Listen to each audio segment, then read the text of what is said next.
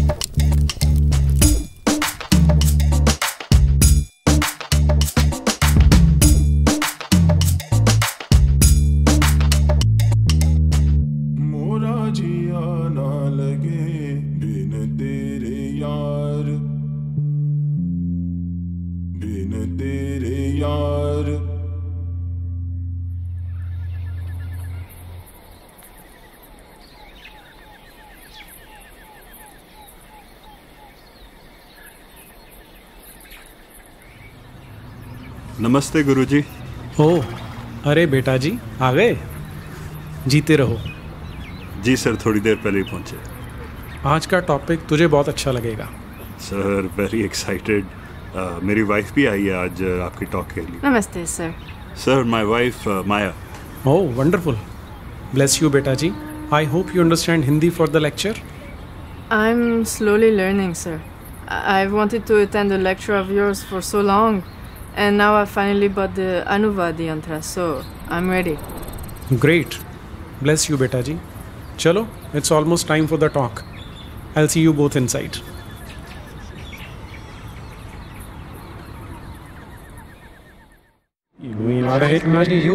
okay सबसे पहले तो सभागार में उपस्थित सभी देवियों और सज्जनों को मेरा प्रणाम है। वैसे तो अब मैक्सिमम लोग मुझे जानते हैं लेकिन क्योंकि मैं देख रहा हूँ कुछ नए लोग हैं तो मैं अपना एक फॉर्मल परिचय दे देता हूँ। मेरा नाम नीरज अत्री है। बाय प्रोफेशन फिज़िक्स पढ़ाता हूँ। लेकिन इंटरेस्ट थोड़ा सा मेरा इतिहास में या हिस्ट्री में है। और जैसा आप जानते हैं कि आज हम थोड़ा सा हिस्ट्री के बारे में डिस्कशन करने वाले हैं। अ, मैंने एक सर्वे किया था और मेरे ख्याल से आप भी उस उसके जो फाइंडिंग्स हैं उनसे सहमत होंगे। मैं शेयर कर रहा हूँ आपके साथ। सर्वे ये था कि जब आपसे कोई किसी कबीले की या ट्राइब की या आदिवासी की बात करता है तो आपके माइंड में पहली इमेज क्या आती है? जैसा कि आपके साथ भी हुआ होगा, पचासी परसेंट से ज़्यादा लोगों ने आंसर ये दिया था कि उनके माइंड में एक गहरे रंग के कुछ लोगों का इमेज बनता है, जिन्होंने सर पे पक्षियों के पंख लगा रखे हैं रंग बिरंगे, मुँह पे पेंट किया हुआ है और उल्टा सीधा डांस कर रहे हैं। ठीक। अब आपको ये जान के हैरानी होगी कि ऐसा ही सर्वे अमेरिका में किया गया था। वहाँ के नेटिव अमेरिकन के बारे में। तो अमेरिका के स्टूडेंट्स ने भी ऑलमोस्ट आइडेंटिकल आंसर दिया। सिर्फ़ एक एडिशन थी, उन्होंने कहा कि वो कैनिबल्स होते हैं। यानी एक दूसरे को मार के वो ह्यूमन फ्लैश या व्यक्तियों का मांस भी खा जाते हैं। हमारे यहाँ पर नरभक्षी वाली कंसेप्ट ज़्यादा नहीं है, लोगों ने बहुत कम बोला, लेकिन फिर भी आप सिमिलैरिटीज़ देख सकते हैं कितनी है। और सबसे जो इसमें हैरान करने वाली बात है, वो ये है कि ये उनकी सच्चाई से कोसों दूर है, जिन्हें हम पुरानी सभ्यताएँ एंशंट सिविलाइजेशंस या मूल निवासी बोल देते हैं। ये सभ्यताएँ सारी की सारी, इनमें कुछ कॉमन थ्रेड्स हैं। अगर आप, जिन्हें आज हम मीज़ो अमेरिकन बोलते हैं मीज़ो अमेरिकन सिविलाइजेशन बोलते हैं, उसमें माया ले लीजिए, इंका ले लीजिए एजटेक ले लीजिए। फिर आप अटलांटिक क्रॉस करके यूरोप में आ जाइए। रोमन सिविलाइजेशन थी। थोड़ा और इधर चलिए तो ग्रीक सिविलाइजेशन है। फिर इधर आइए अफ्रीका में तो इजिप्ट की सिविलाइजेशन थी। मिडल ईस्ट में Persian civilisation South East Asia में वैदिक सिविलाइजेशन, वो तो हमारी है ही। फिर थोड़ा ईस्ट में जाएँगे तो आपको चाइना और जापान की सिविलाइजेशंस में होती हैं। इन सारी सिविलाइजेशंस के कई स्ट्रक्चर्स ऐसे हैं जो आज भी सरवाइव करते हैं। फॉर एग्ज़ाम्पल जिन्हें हम मीज़ो अमेरिकन कहते हैं, उनका ये एक स्ट्रक्चर देखिए। चार साइड पे सीढ़ियाँ बनी हैं। इक्यानवे सीढ़ियाँ हर एक साइड पे तो उसे आप इंटू फोर करेंगे तो तीन सौ चौंसठ सीढ़ियाँ बन जाती हैं। ऊपर का प्लेटफॉर्म मिला लीजिए तो 365 स्टेयर्स यानी एक साल के तीन सौ पैंसठ दिन पूरे हो जाते हैं। ये पहला इंडिकेशन है कि उन लोगों को एस्ट्रोनॉमी की बहुत अच्छी नॉलेज थी। दूसरा, कि स्ट्रक्चर आज तक सरवाइव कर रहा है हज़ारों साल बाद, जो आपको बताता है कि उनका आर्किटेक्चर और उनकी इंजीनियरिंग कितनी स्ट्रांग थी, कितनी एडवांस थी। फिर, साल के एक विशेष दिन, जब दिन सबसे लंबा होता है। Right right? जिसे हम twenty first twenty second June के टाइम पे सेलिब्रेट भी करते हैं उस दिन यहाँ पर एक बहुत ही स्पेक्टेकुलर नज़ारा देखने को मिलता है कि एक सन से इमेज ऐसी बनती है कि एक ड्रैगन नीचे की ओर उतर रहा है अब इतना सोफिस्टिकेटेड स्ट्रक्चर बनाने के लिए ट्रिग्नोमेट्री की मैथमेटिक्स की कितनी एडवांस नॉलेज चाहिए होगी? स्ट्रक्चरल इंजीनियरिंग की कितनी एडवांस नॉलेज चाहिए होगी, वो आप इमेजिन कर सकते हैं। लेकिन फिर भी हमारी इमेज क्या है इनके बारे में? कि रिग्रेसिव सोसाइटीज़ थी।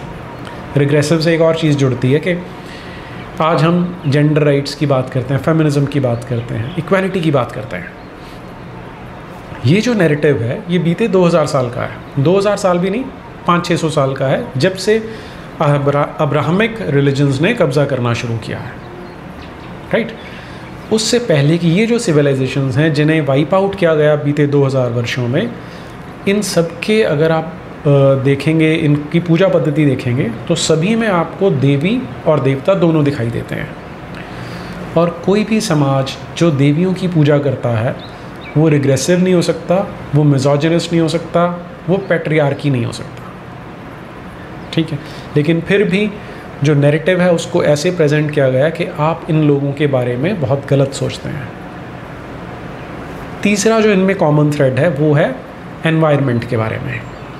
आज हम कार्बन फुटप्रिंट की बात कर रहे हैं, लेकिन इन सब लोगों ने, इन सब सिविलाइजेशंस को अगर आप देखेंगे, उनका लाइफस्टाइल देखेंगे तो उनका कार्बन फुटप्रिंट बेयर मिनिमम था। क्योंकि उन्होंने एक ऐसा सिस्टम बनाया था, एक ऐसा लाइफस्टाइल था उनका कि वो प्रकृति के साथ मिल के रहते थे। अब मैं आपको एक एग्जांपल देता हूँ इसका। ये जिस हॉल में आज बैठ के हम बात कर रहे हैं, वैशेषिक। हमारे देश के जो छह दर्शन हैं, जिन्हें षड दर्शन कहा जाता है, इंग्लिश में सिक्स स्कूल्स ऑफ़ थॉट कहा जाता है, उनमें से वैशेषिक एक है। आपको बहुत कम लोग ये जानते हैं कि जो वैशेषिक दर्शन है इसे लिखने वाले ऋषि का नाम कणाद था। कणाद जो वर्ड बनता है, वो कण से बनता है। कण यानी अनाज के जो कण हैं, अनाज के जो पार्टिकल्स हैं, उनसे। इनकी जीवन शैली क्या थी? आज हम वीगन को बोलते हैं ना कि वीगन आज इन थिंग है, क्योंकि हम कोई भी एनिमल प्रोडक्ट नहीं यूज़ करते, सिर्फ़ प्लांट प्रोडक्ट्स यूज़ करते हैं। तो आप कणाद ऋषि से इंस्पिरेशन ले सकते हैं। कि वो भूमि पे गिरे हुए कण उठा के अपना पेट भरते थे। वो भी पत्ते से पौधे से तोड़ते नहीं थे। पेड़ से जब फल पक जाएगा तब खाएँगे। पौधा जब कण को छोड़ देगा तब उसे उठा के खाते थे, इसलिए इनका नाम कणाद पड़ा था। तो आप सोच सकते हैं कि किस तरह का, किस तरह की जीवन शैली थी इनकी। आज तो एक छोटा सा जब प्रोफेसर भी बन जाते हैं तो हमें लगता है कि अब हम ग्लोब ट्रॉटिंग करेंगे और इतना बड़ा हमारा कार्बन फुटप्रिंट हो जाता। है ओके अगली चीज़ पे चलता हूँ। जब आप न्यूटन का नाम सुनते हैं तो माइंड में सबसे पहली चीज़ क्या आती है? लॉज ऑफ़ मोशन है ना? अब ये जो कणाद ऋषि हैं, जो वैशेषिक दर्शन है कंजर्वेटिव एस्टिमेट्स ये बोलते हैं कि ये 600 बिफोर कंटेम्प्रेरी एरा का है।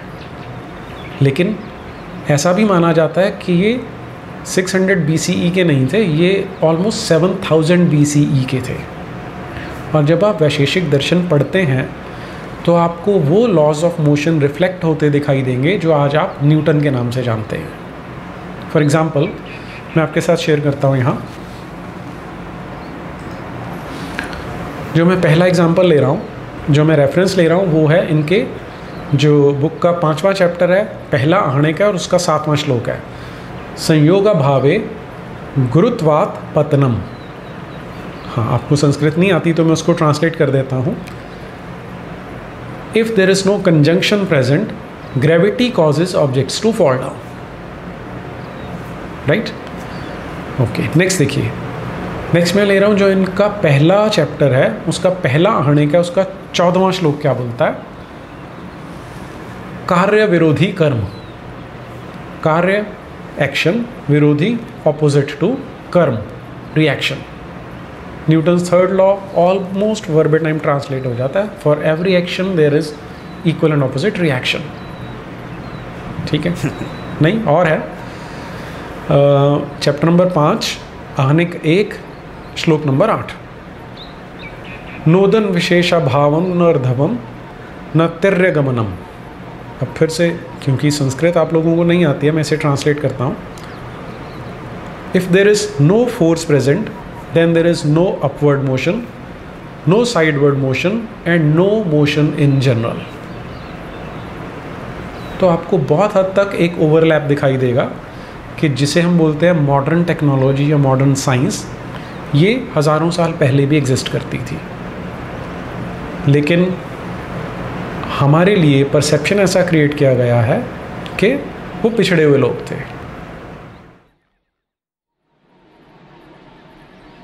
Sir that was amazing I didn't know कि वैशेषिक दर्शन में ये सब लिखा हुआ है। So much to think about. Thank you. Thank you. I am happy you like it I might do a follow up on it some time the audience seems to enjoy it sir सब कान खोल के सुन रहे थे। अच्छा sir आपकी talk Patiala में कब करवाएँ? We have so many friends who can never leave the city because you know tight schedule और लाइफ स्टाइल एट्सेट्रा चंडीगढ़ में आपकी टॉक के लिए आना इतना ईजी होता था। बेटा सिटीज़ को तो सेक्युलर ने खा लिया।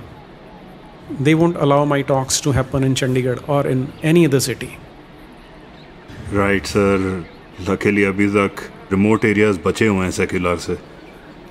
सर मैं शायद एक सेक्युलर प्रूफ रूम अरेंज कर सकता हूँ। इज़ दैट इवन पॉसिबल वाह। अगर ये अरेंज हो सकता है तो मुझे बताना। जी sir I will definitely keep in touch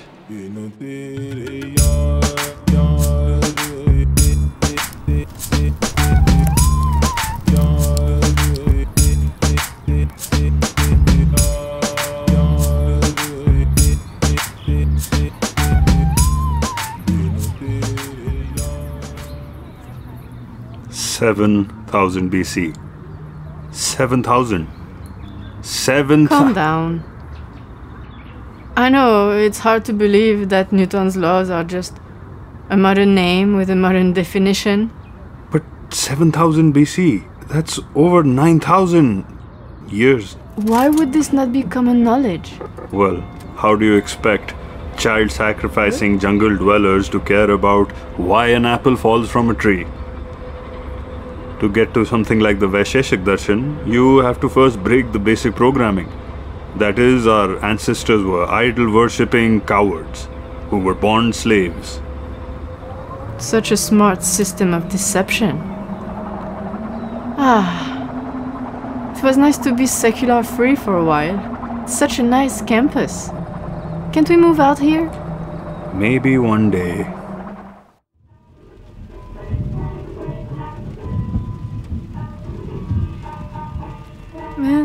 What else did our ancestors come up with? The wheel, the zero, shampoo. That's not a bad resume for some primitive jungle dwellers. Huh. This man here is claiming the Ramayana took place around 12,000 BC. I gotta look into that. Look at all these ancient surgical tools.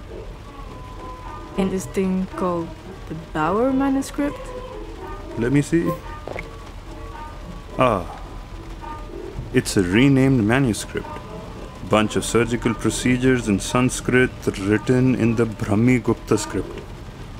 And the Shushrat Samhita had the Indian flap, a facial reconstruction surgery that kept the skin tissue alive. This was already a common practice in Bharat. Even in the modern times, some barbaric invader named Tipu Sultan was fond of chopped noses and arms, so this specific surgery was a lifesaver in that era. When was the Bauer manuscript written?